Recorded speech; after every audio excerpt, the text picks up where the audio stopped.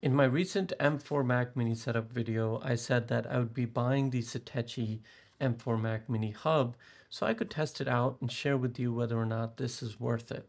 So that's exactly what I've done and I've been using it for a couple of weeks now and I want to share with you whether or not this is going to add enough value for you to purchase something like this for your own M4 Mac Mini. First of all, I want to start with the design and right from taking it out of the box, you could tell that this is a well-made product. Everything has a nice finish to it, so no complaints in terms of build quality.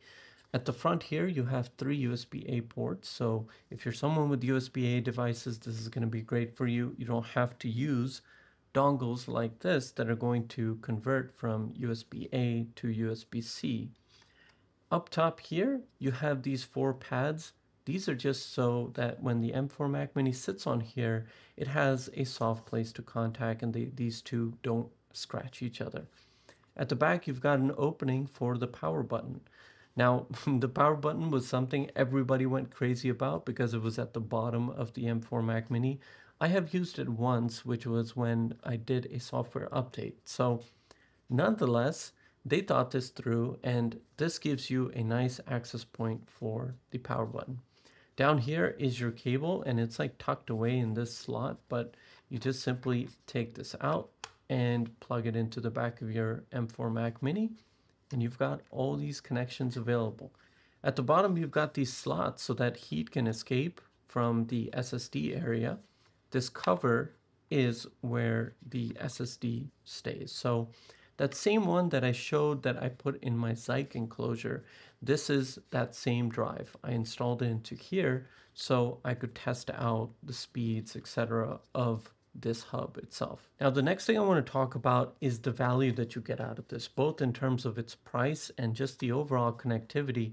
This comes in at 100 US dollars, and that's what I paid because I live here in the U United States. And so if you look at the functionality this is going to give you, it's really amazing because you get three USB-A ports, so you won't be needing any of these dongles, right? So if you if you're someone that is going to have to buy these, then you should look at something like this because instead of spending money on these, then you can just buy a one-time solution that'll give you multiple USB-A ports.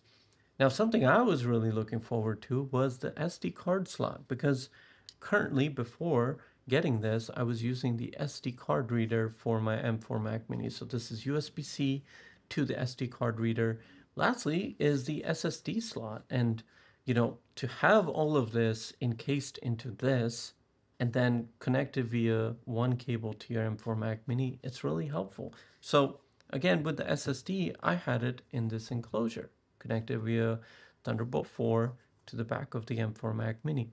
Now the SSD I have is made for gaming and high speeds, right? So this was really helpful to me. Whereas over here, the only limitation you have with the SSD is the fact that it's limited to 10 gigabits per second. So if you're someone that's going to want to maximize the amount of speed that you can get from your SSD, then this is probably the only drawback that I have with this hub in particular because when I was doing my video edits, I could tell that they began to slow down simply because it it's not able to handle the amount of speed that this enclosure is.